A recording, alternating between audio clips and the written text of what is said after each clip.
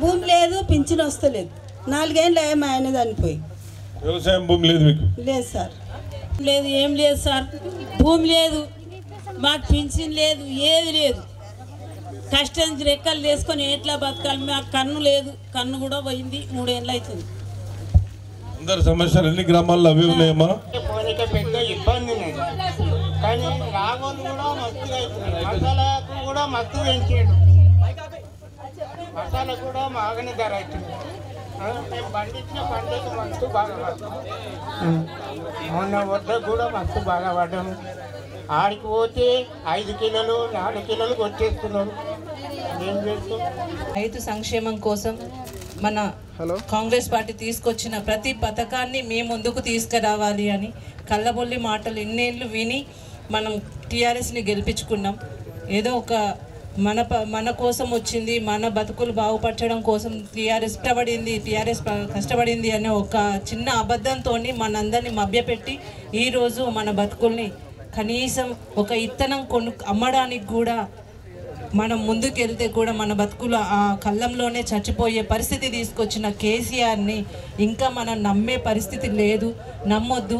ఆ రోజు కాంగ్రెస్ పార్టీ ఎలా అయితే పేదల కోసం మొదలు మొదలుపెట్టిందో ఈరోజు కూడా అలాగే ప్రతి ఒక్క పేద ప్రజలకి ప్రతి ఒక్క ప్రతి ఒక్క మనిషికి వాళ్ళకు సహాయ సహకారాలు అందించడానికే ఆ రోజు మొదలైంది. ఈ రోజు కూడా మాటిస్తే తప్పంది కాంగ్రెస్ పార్టీ. మాట మీద నిలబడేది కాంగ్రెస్ పార్టీ. జూటా కోర్ టీఆర్ఎస్ జూటా మాటలు టీఆర్ఎస్. డబ్బు సంపాదించుకునేది టీఆర్ఎస్. సో అన్ని రకాలుగా మన అందరం నష్టపోయి బిడ్డలకు ఉద్యోగాలు లేక మన ఆడపిల్లలకి ఎలాంటి సహాయ సహకారాలు లేకుండా మనం అభయహస్తం కట్టిన డబ్బులు వాడే గుంజుకొని చనిపోతే కనీసం ఐదు వేల రూపాయలు చనిపోయిన రోజే మనకి ఇస్తుండే. అవి లేవు ఒక లోన్స్ లేవు. కనీసం మన ఒక లోన్ ఇస్తే ఆ బర్లు కానీ ఒక చిన్న చిన్న సంస్థలు కానీ పెట్టుకునే పరిస్థితి ఆడపిల్లలకు తీసుకొచ్చి భర్తలకు సహాయంగా ఉండాలి అని ఆ రోజు తీసుకొచ్చిన ఇందిరమ్మ పథకాలను అన్నీ తీసేసి అన్నీ నిర్వీర్య నిర్వీర్యం చేసి ఈరోజు మనం రోడ్డు మీద ఉన్నాం. ఒక్కసారి ఆలోచించండి. కనీసం ఆలోచన చేద్దాం. ఆ రోజు ఇచ్చిన కాంగ్రెస్ ఎలా అయితే మన కోసం తెలంగాణ ఇచ్చిందో అదే మన బిడ్డలు బతుకుండాలి బతుకు బతికి బట్ట కట్టాలి మంచి వృద్ధిలోకి రావాలి అని ఆ రోజు ఆలోచించి ప్రత్యేక తెలంగాణ మన కోసం ఏర్పాటు చేసింది. ఈరోజు మళ్ళీ ఒక్కసారి కాంగ్రెస్ పార్టీని ముందుకు తీసుకొచ్చి మనము అనుకున్న ఎలాంటి బతుకు మనకు కావాలనుకున్నామో అలాంటి బతుకు బతకడానికి కాంగ్రెస్ పార్టీని గెలిపించుకొని మనమేంటో ఒక్కసారి చూపించుకుందాం మరి మిగతా వేదిక మీద కూర్చున్నటువంటి మన ఎంపీటీసీ దేవదానం గారు మన జగన్ సర్పంచ్ గారు మరి అందరూ పేరు పైన ఈ కార్యక్రమానికి విచ్చేసినటువంటి పటాన్చేరు మండల్ పటాన్చేరు నియోజకవర్గం నుంచి మరి అందరు ఎంపీటీసీలకి మాజీ ఎంపీటీసీలకి సర్పంచ్లకి మాజీ సర్పంచ్లకి కాంగ్రెస్ పార్టీ కార్యకర్తలకి కేజీఓసైన తమ్ముళ్ళకి మరి అందరికి కూడా మరి పేరు పేరున నా హృదయపూర్వక నమస్కారాలు తెలియజేస్తూ దాంతోపాటు ఈరోజు లగ్నారం గ్రామంలో మరి ఇక్కడ విచ్చేసినటువంటి కార్యక్రమానికి విచ్చేసినటువంటి మా అమ్మలు అక్కలు చెల్లెలు మా అన్నలు తమ్ముళ్ళు పెద్దలు అందరు చిన్నారులు అందరు కూడా పేరు పేరున వాళ్ళు కూడా చేతులు జోడించి శిరస్సు వచ్చి నమస్కరిస్తూ ముఖ్యంగా మా పత్రికా సోదరులకు కూడా వారు కూడా పత్రికా అభినందనలు తెలియజేస్తాము మరి అధికారం ఒకటి నా దగ్గర లేదు కానీ ప్రతి గ్రామంలో కాంగ్రెస్ పార్టీ కార్యకర్తల్ని ప్రజల్ని పేదోడిని తప్పకుండా నా వంతు సహకారంగా కాంగ్రెస్ పార్టీ ఎప్పుడు కూడా మీకు అండగా ఉంటుందని భరోసా ఇచ్చుకుంటూ నేను తిరుగుతా ఉన్నా తల్లి. కాబట్టి ఈరోజు మరి మొన్న ఆరు తారీఖు నారు వరంగల్లో రాహుల్ గాంధీని పిలిపించి రేవంత్ రెడ్డి గారు సభ ఏర్పాటు చేసి మరి ఈ తెలంగాణలో మరి సోనియమ్మ తెలంగాణ ఇచ్చింది. ఇచ్చిందా తల్లి ఇయ్యలేదా? సోనియా గాంధీ ఇచ్చిందిగా. వీళ్ళు ఏమైనా పొడిషియం తీసుకురాలేరు కదా. ఇద్దరు ఎంపీలు ఉన్న వాళ్ళు వీళ్ళు చేసింది లేదు ఒకరోజు పార్లమెంట్కి పోయింది లేదు లొల్లి పెట్టింది లేదు. కానీ సోనియమ్మ పన్నెండు వందల మంది మరి విద్యార్థులు మరి వారందరికీ కూడా ఆమె కూడా ఒక ఆడపడుచు కాబట్టి ఆమె కూడా ఆ తల్లి కోస తెలుసు కాబట్టి పన్నెండు వందల మంది విద్యార్థులు చనిపోయారు. వాళ్ళ కుటుంబాలు వాళ్ళ తల్లి బాధ బాధలు చూసి ఆమె కూడా తెలుసు కాబట్టి స్వ స్వయంగా తెలుసు కాబట్టి ఆమె ఆ తల్లి బాధను అర్థం చేసుకొని ఇంకా చచ్చిపోకూడదు ఎవరు. ఖచ్చితంగా నేను మాట ఇస్తా ఉన్నా తెలంగాణ ఇస్తా అని చెప్పి తెలంగాణ ఇచ్చి మాట ఇచ్చి మాట నిలబడ్డ పార్టీ కాంగ్రెస్ పార్టీ లేదా మీ ఇద్దరు ఈరోజు కాంగ్రెస్ పార్టీ ఎప్పుడు కూడా గతంలోనైనా ఇప్పుడైనా ఎప్పుడైనా మీ అందరికీ కూడా తెలుసు పెద్ద మనుషులు ముఖ్యంగా బాగా తెలుసు. అప్పటి నుంచి ఇప్పటిదాకా కాంగ్రెస్ ప్రభుత్వం ఎప్పుడు కూడా పేదల గురించి బడుగు బలహీన వర్గాల గురించి రైతుల గురించి అందరి గురించి మేలు కోరేది కాంగ్రెస్ పార్టీ. ఆ రోజు నుంచి ఈ రోజు వరకు కూడా ఎక్కడ కనీసం ఇంతవరకు మనకి ఎక్కడ కూడా జాగ ఉన్నప్పుడు పైసలు ఇస్తాము ఇల్లు కట్టుకోమని చెప్పి డబుల్ బెడ్రూమ్లు ఇస్తామని చెప్పి భూములు ఇస్తామని చెప్పి మూడు ఎకరాలు ఇస్తామని చెప్పి ఇట్లా తొంభై ఆరు చెప్పినా కానీ ఏ ఒక్కటి కూడా అమలు చేయలే. కానీ కాంగ్రెస్ పార్టీ లాయంలో ఉన్నటువంటి పనులే ఇప్పటి వరకు కూడా జరిగినాయి. ఇందిరమ్మ ఇండ్లు ఏ గ్రామంలో చూసినా ఆ రో ఆ రోజు ఇచ్చినటువంటి ఇందిరమ్మ ఇండ్ల కిందనే రాజు గృహకల్పాలో లేకపోతే ఇందిరమ్మ ఇండ్లో లేకపోతే జాగుణంలోకి ఇందిరమ్మ పథకం కింద డబ్బులో మళ్ళీ ఆ రోజు ఇల్లు కట్టుకుంటామంటే లక్ష రూపాయల పథకం కింద లక్ష రూపాయలు ఇవ్వడము ఇవన్నీ కూడా ఆ రోజు కాంగ్రెస్ పార్టీ ఉన్నప్పుడు ఆయననే జరిగినాయి తల్లి. కానీ ఈరోజు ఏమైనా జరిగినాయా తల్లి? ఇంకా ఆశ పెడుతూనే ఉన్నారు. మీకు డబల్ బెడ్రూమ్ ఇల్లు ఇస్తా అని చెప్పి మూడు ఎకరాల భూమి ఇస్తా అని చెప్పి ఇంకా అనేక రకాలుగా ఆశనే పెడతా ఉన్నారు కానీ ఎక్కడ కూడా ఏం జరగలే. ఈ రోజు నేను పెన్షన్ ఇస్తున్నా నేను రెండు నేను కాగా రెండు వేల పెన్షన్ ఇస్తా అని చెప్తా ఉన్నా ఈరోజు ఇంట్లో ఇద్దరు బతుకుంటే అవ్వ తాత ఇద్దరు బతుకుంటే కూడా ఇద్దరికి పంచాయతీ పెట్టినటువంటి చరిత్ర వీళ్ళది ఈరోజు ఒక్కరికి ఇచ్చి ఈరోజు పంచాయతీ పెడతా ఉన్నారు. యాభై ఏడు సంవత్సరాలకే పెన్షన్ ఇస్తా అని చెప్పి పోయినసారి ఓట్లు వేయించుకున్నాడు ఓట్లు దండుకున్నారు యాభై ఏడు సంవత్సరాలు వచ్చినాయి వాళ్ళు అరవై సంవత్సరాలకు వస్తే కూడా ఇంతవరకు మళ్ళీ పెన్షన్ వచ్చే పరిస్థితి లేదు మనకు. అరవై సంవత్సరాలు నిన్న వాళ్ళకి పెన్షన్ ఇచ్చే పరిస్థితి లేదు. యాభై ఏడు సంవత్సరాలకు వచ్చిన వాళ్ళకి పెన్షన్ ఇచ్చే పరిస్థితి లేదు. మరి ఇవన్నీ కూడా మళ్ళీ టీవీలలో ముంగట మాత్రం చాలా గొప్పగా పథకాలు తీసుకొచ్చి కా పథకాలు లాంచింగ్లు మాత్రం అవి శంకుస్థాపనలు మాత్రం చాలా బ్రహ్మాండంగా. పన్నెండు గంటల రాత్రి దాకా మనం కరోనా వచ్చినప్పుడు చూసినాం. ఈ రైతులకు ప్రతి గింజ కొంటా అని చెప్పారు ఆ నోటితోనే మళ్ళా రైతులు ఊరేసుకుంటే ఊరే అని చెప్పిన వాళ్ళు ఇల్లే అదే నోటితో ప్రతి గింజ కొంటోళ్ళు మేమే అని చెప్తారు. ఈరోజు కేంద్ర ప్రభుత్వం రాష్ట్ర ప్రభుత్వం ఇద్దరు కలిసి మొన్న ఆట ఆడి ఊరేసుకుంటే ఊరే అని చెప్పి చెప్పి అరవై శాతం మంది రైతులు ఊరేయలేరు ఆ ఉన్న నలభై శాతం మందిలలో వీళ్ళిద్దరు పంచాయతీ ఒక నెల రెండు నెలలు డ్రామా చేసారు వీళ్ళు రోడెక్క వాళ్ళు రోడెక్క.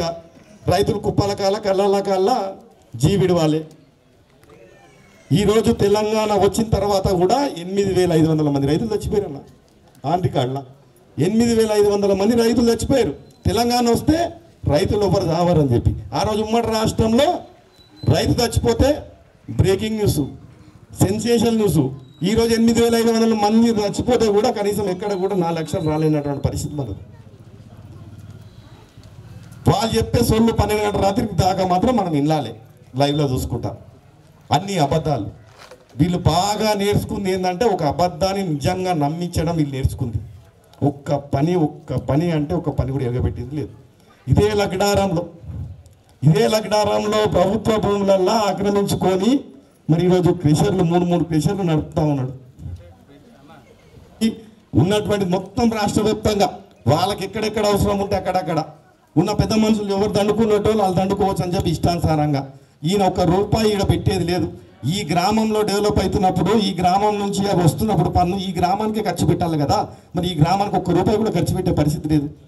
పర్మిషన్ లేని క్రెషర్లు మాట్లాడిన మీద ఎదిరింపు దాడులు పోలీసు వాళ్ళతో అరాజకాలు దౌర్జన్యాలు.